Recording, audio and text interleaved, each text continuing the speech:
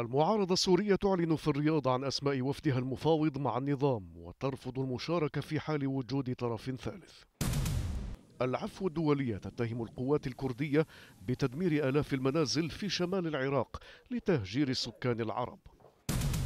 واشنطن تقر بوجود الكثير من العمل أمام مفاوضات السلام السورية المقررة الأسبوع المقبل وتحمل روسيا مسؤولية التعطيل المرصد السوري يقول إن مطار رميلان بريف الحسك الشمالي الشرقي بات شبه جاهز لاستخدامه من قبل الطائرات الأمريكية.